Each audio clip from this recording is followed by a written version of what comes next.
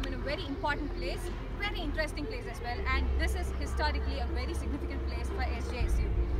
This is our team submitting our CMPE 272 lab. Our team comprises of myself, Divya, Harkaval, Para, Pranav, Surbi, and Arun. So let me tell you something about this place, this historically significant place.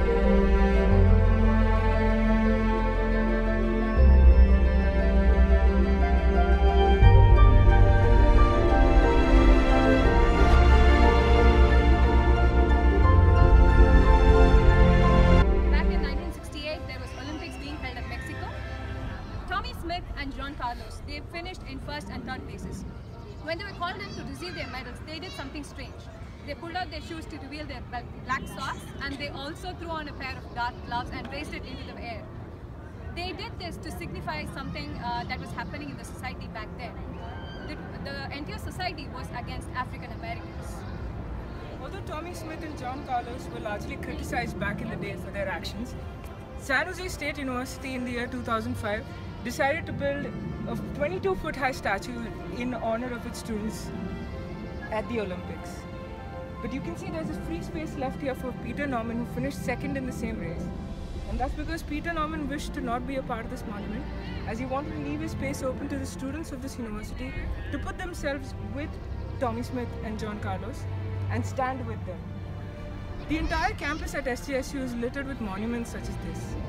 And today we'll be looking at some of them and going through some of their histories. The next monument we'll be looking at is the MLK library that SJSU has.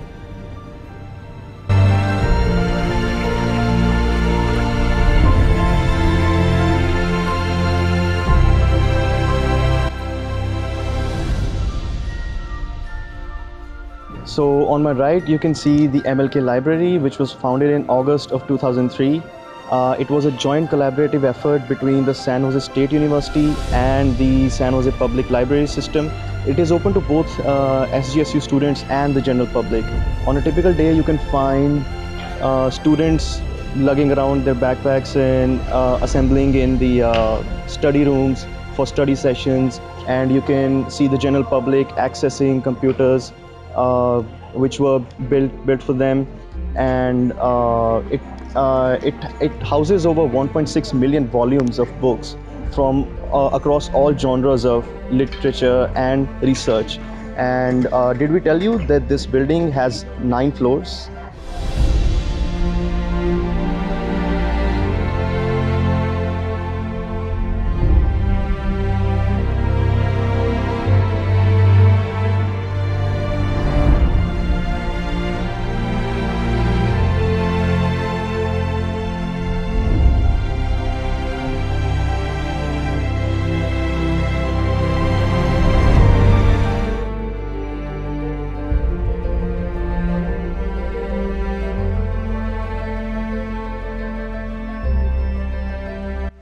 Architectured by Carrier Johnson, this building is full of facilities for public as well as international students. You uh, standing here, you are surrounded by cultures uh, all from all over the world, like like Indian, uh, French, Spanish, and not just the serious stuff. You will find a lot of fun stuff here too. Like I just found my favorite.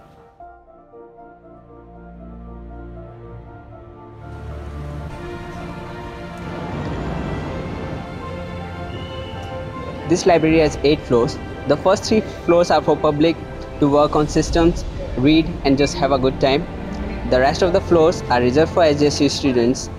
They work on their assignments, take taking notes, uh, having group meetings, and I personally spend at least three hours a d- uh, daily here.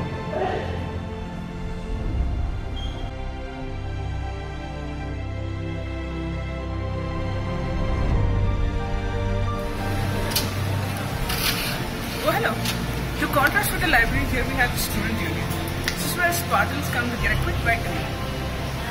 We are taking a tour of our school, San Jose State University, that brings me to the beautiful arc that is known as Cesar Chavez Monument.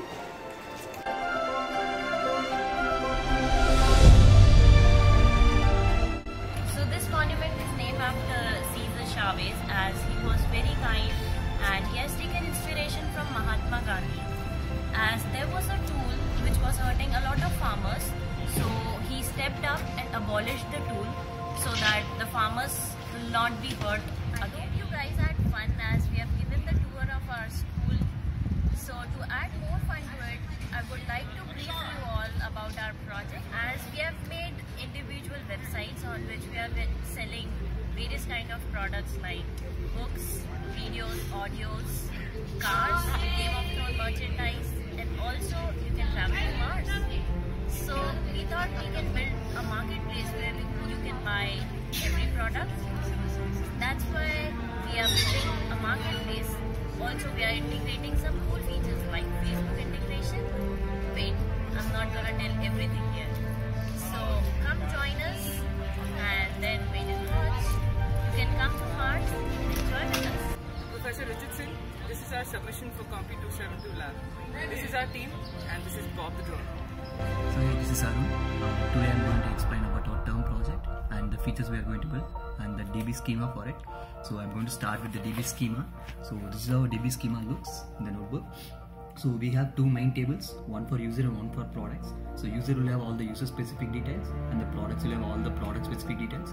We are going to have a common database for all the six websites. So we are going to ent enter all the product details into this products.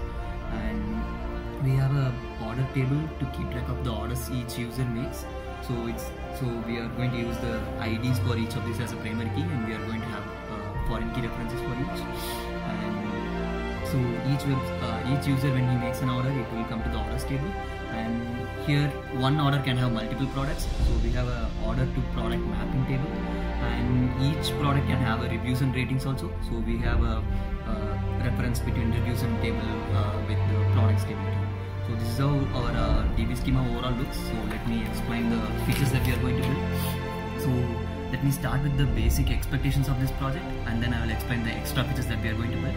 So the first expectation is to build a main UI which has all the products and we are able to give a rating, rating and the system. And we are going to have a common product page for all the six websites. And we are going to have all the products in the database so we are not going to build uh, 100 products per 100 pages. It's going to be one page which takes a product ID as a parameter so that it's scalable. If you want to add more products you just insert a row in the DB and it will be automatically built for you. So we have written UI snippets for all of that which will be commonly reusable and the other expectation is to build uh, top 5 visited and top 5 ordered and top 5 ratings. We are going to add some more uh, criteria for this also. And we have a, a common uh, user creation for the marketplace so that uh, if a user registers he will be able to uh, order from all the six websites. And now coming to the extra part uh, we are going to have a, a, filtering and searching mechanism for the products like you see in Amazon and that will be completely based on the JSON model. So we are going to uh, export our complete database into a JSON and use that uh, for filtering using JavaScript. So if you ask for the products between the price range from 100 to 200 it will list you only those products. So something like that. And we have a keywords mapping with each product so we'll be able to filter based on that also.